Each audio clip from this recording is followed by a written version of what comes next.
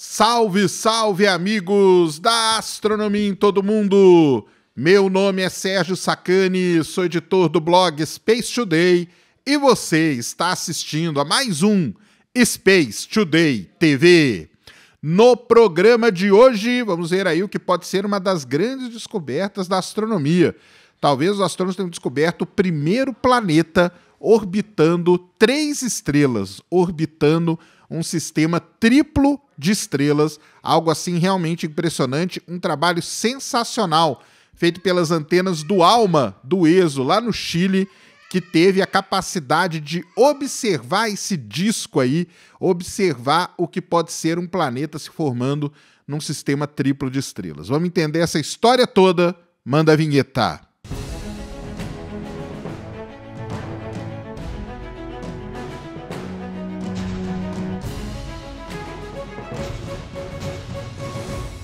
Muito bem, pessoal, vídeo novo aqui no canal. Antes do vídeo começar, você já desce aí, já deixa o seu like, já se inscreve no canal para você não esquecer durante o vídeo e para ajudar a causa da divulgação científica no Brasil. Como eu falo sempre, passe lá na spacetodaystore.com, tem muita coisa nova lá para vocês, então corre sempre lá e fique atualizado. Não se esqueça também do Ciência Sem Fim, a agenda já saiu, Reinaldo José Lopes na quarta-feira e teremos o Vinícius Azevedo.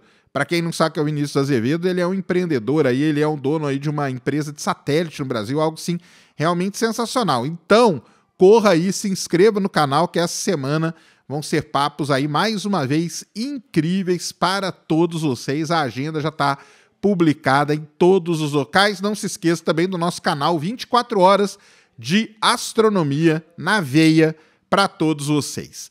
Dado todos esses recados, vamos para o vídeo de hoje, passar aqui nossos 10, 15 minutinhos batendo um papo sobre algo importante, interessante, relevante que acontece no nosso universo. Antes da gente falar da descoberta em si, a gente precisa fazer um, um preâmbulo, digamos assim, né? É, as estrelas, quando elas nascem, elas não nascem isoladas, tá? Normalmente elas nascem em aglomerados estelares, aonde você tem ali centenas, talvez milhares de estrelas. Elas nascem normalmente no que a gente chama de aglomerado, de aglomerado estelar aberto. E esses aglomerados estelares abertos é onde então, por exemplo, nasceu o nosso Sol, que teve ali irmãzinhas que nasceram junto com eles, irmãs gêmeas que a gente chama. Até, até uma coisa aí que é complicada de você descobrir quais foram as estrelas que nasceram junto com o Sol. Existe todo um trabalho para isso, é uma área bem interessante. Quando o tempo vai passando, algumas dessas estrelas acabam migrando, se afastando e tudo mais devido a interações gravitacionais e determinados sistemas ficam com uma estrela, como é o nosso caso aqui, o sistema solar só tem o Sol de estrela. Tem sistemas que ficam com duas estrelas, eh, sistemas binários que a gente chama. Tem sistemas que ficam com três estrelas, sistemas triplos, ternários. Tem sistemas que ficam com mais estrelas. Isso depende do que, que acontece na hora ali que, vai, que vão migrando é, todas essas estrelas para longe. Então, basicamente, é isso que acontece ali no processo de formação de estrela. E quando você tem uma estrela, você pode ter planetas ao redor da estrela. O que acontece então é o seguinte: aqui no caso do sistema solar, a gente teve o Sol, ao redor do Sol formaram então oito planetas, mais um monte de asteroide, cometa, planeta anão e toda essa grande variedade de objetos que a gente tem. Você tem sistemas duplos que já foram observadas estrelas, é, planetas formados nesses sistemas duplos. E isso não só foi observado, como foi imaginado. Quem é que não lembra aí da clássica cena lá de Tatooine, com os dois sóis no horizonte? Então, para você ter uma ideia, né, como que os como que alguns filmes eles são realmente proféticos, porque esse filme apareceu antes até da gente ter descoberto qualquer exoplaneta e ele já colocava um planeta orbitando sistemas binários. Esses sistemas binários, os astrônomos já encontraram alguns exemplos, não é algo tão fácil, não é algo tão simples, não é algo tão comum também, porque toda a a dinâmica ali toda a, a, a força gravitacional nesses sistemas é algo muito complexo para que você tenha um planeta que sobreviva a todo esse processo. Agora, em sistema triplo, aí é mais raro ainda. Nós temos um ou outro caso ali que ainda precisa de confirmação, ou seja, nós não temos ainda como fechar, bater o martelo no caso da descoberta de um exoplaneta orbitando um sistema triplo de estrelas. E é isso que faz com que esse trabalho todo seja realmente assim espetacular. Os astrônomos resolveram observar um sistema triplo de estrelas chamado GW Orionis. Fica localizado a 1.300 anos-luz de distância da Terra e ele é composto de três estrelas. Duas estrelas, as duas estrelas mais internas, que eles chamam de A e B, uma estrela orbita a outra. E há uma distância de uma unidade astronômica entre elas.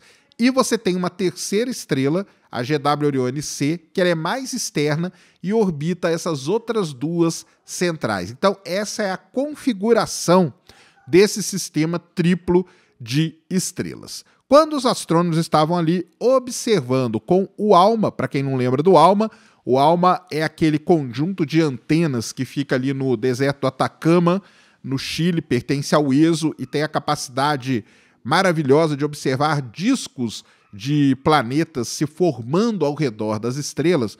Quando os pesquisadores observaram com ALMA o, o sistema GW Oriones, eles viram ali que você tinha anéis concêntricos ali, anéis é, de, de poeira se formando ao redor desse sistema triplo. Isso aí chamou, já chamou muito a atenção dos, dos, dos astrônomos. Os anéis, você tem três. Um que é mais interno, localizado a 46 unidades astronômicas do sisteminha de três estrelas. Lembrando que o sistema de três estrelas está lá no meio. E você tem os anéis ao redor desse sistema. Então, o planeta ele estaria orbitando todas as três estrelas. Olha que coisa complicada, né? Então, você tem um anel a 46 unidades astronômicas, um outro anel a 185 unidades astronômicas e um terceiro anel a 340 unidades astronômicas. O que chamou realmente a atenção dos astrônomos foi quando eles viram que esses anéis eles estavam desalinhados, isso mesmo, não estava um anel bonitinho, um alinhadinho com o outro, todos no mesmo plano. Existia ali um desalinhamento dos anéis e das estrelas. Isso foi muito interessante. Além disso, né, esse terceiro anel, localizado a 340 unidades astronômicas, ele já é o maior anel de poeira observado ao redor de uma estrela na história aí pelos astrônomos, o que é muito interessante. Não é a primeira vez que os astrônomos observaram esse sistema. Esse desalinhamento eles já tinham observado lá em 2017 usando o próprio ALMA. Agora eles refizeram as observações e com mais dados, com mais observações, eles tent estão tentando então explicar o que causou esse desalinhamento. Essa que é a grande questão nesse estudo, é explicar o que teria causado o desalinhamento dos anéis com relação às estrelas. Existem duas explicações básicas, duas equipes de astrônomos deram duas explicações, só que uma delas não se sustenta. Uma delas é que esse desalinhamento teria surgido pelo próprio, pela própria força gravitacional das estrelas. Então, as estrelas ali, como é todo, todo tem toda uma complexidade ali no, na, no, na órbita entre elas, teria causado esse desalinhamento dos anéis de poeira e seria isso. O problema dessa, dessa, dessa hipótese é que a quantidade de massa de poeira que você ia precisar para criar tudo isso e para acontecer todo esse todo esse esquema aí que foi imaginado, que foi simulado até pelos astrônomos, seria uma grande quantidade de poeira, uma quantidade sim que não, não teria nem como medir direito de tanta poeira que teria que ser. E se não fosse isso, esses anéis iriam se quebrar e tudo mais. Então, essa hipótese ficou meio de lado. Aí veio um outro grupo de astrônomos e mostrou o seguinte, que esse desalinhamento ele seria causado pela presença de um planeta gigante.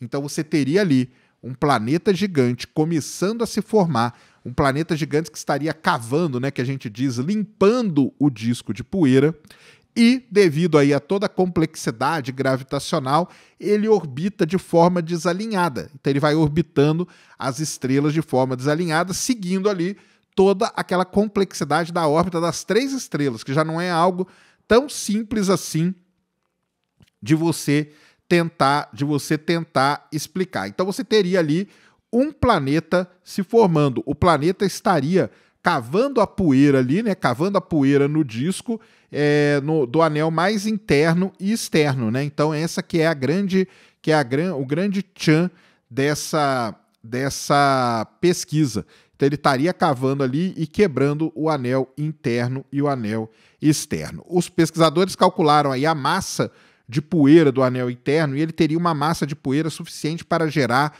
algo equivalente a 30 terras. Então você teria 30 terras, o equivalente a 30 terras em massa no anel mais interno da GW Oriones. E isso seria sim possível de você formar um planeta por ali, tá? Então isso é muito legal o que os pesquisadores é, conseguiram mostrar. Se tudo isso se confirmar, vai ser algo assim realmente espetacular. Esse sistema aí é um verdadeiro tesouro para a astronomia, porque, como eu falei, vai ser a primeira vez, a primeira vez que nós iremos detectar um planeta orbitando um sistema triplo de estrelas. Isso seria realmente fantástico. Vários sistemas triplos já foram investigados. Tem um que, que tem ali fortes evidências que você tem um planeta, mas depois tem outros indícios que não tem planeta nenhum e tal. Então ainda não foi descoberto. Seria o primeiro. Imagina você descobrir o primeiro exoplaneta orbitando um sistema triplo de estrelas. E além disso, né? É, esse aí já é um sistema que você tem o disco circunestelar em, em três estrelas. Isso aí já é algo inédito nesse estudo. E é muito interessante você ver a complexidade. Então, ali no meio você tem três estrelas, duas uma orbitando a outra e uma orbitando as outras duas e formando esses gigantescos anéis. Para vocês terem uma ideia, o Netuno ele está a 30 unidades astronômicas de distância do Sol. O anel mais interno desse sistema está a 46 unidades astronômicas, ou seja, seria algo muito distante. Seria o primeiro planeta orbitando três estrelas e um dos planetas mais distantes de estrelas já detectado. Então tem muita coisa aí, fora que, fora que seria um sistema que nem o Star Wars imaginou. Nem mesmo o pessoal que fez Star Wars imaginou um planeta que você tem três sóis ali no horizonte. E nesse caso aconteceria isso, o que seria realmente espetacular. Temos que esperar aí as confirmações de tudo isso. Os pesquisadores vão continuar estudando, vão continuar analisando todos os dados, continuar fazendo as simulações que são necessárias para que a gente possa entender. Como eu falei, isso aí tudo é muito importante para que a gente possa entender a formação de sistemas triplos de estrelas, a formação de discos protoplanetários, a formação de planetas, ou seja, tem muita coisa nesse belíssimo estudo feito sempre por ele, né? Como eu falo, né? Para mim, eu falo isso aqui há anos aqui no canal, o ALMA é uma das, se não a mais né, sofisticada, a mais interessante ferramenta. O ALMA ajudou aí a, a fazer foto do buraco negro.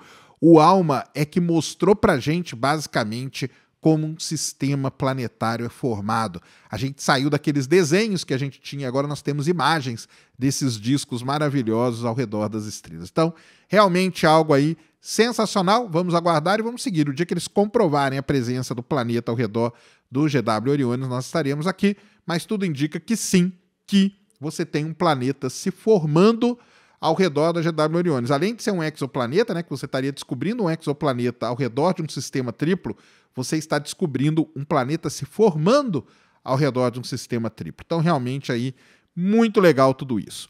Esse então era o vídeo que eu queria trazer aqui no canal para vocês agora. Espero que vocês tenham gostado. Se gostou, já sabe, tapa no dedão, voadora com tudo no peito do like. Isso ajuda pra caramba o vídeo o canal a ganhar relevância. Nunca se esqueça do pacotão youtubístico, compartilha, favorita, se inscreve no canal se você ainda não é inscrito, deixa aí nos comentários o que você quiser saber. Tamo junto dioturnamente na luta contra a má divulgação científica no Brasil e contra a anemia na divulgação da astronomia no nosso país. Mais uma vez, meu nome é Sérgio Sacani, sou editor do blog Space Today e você acabou de assistir a mais um Space Today TV. Fui!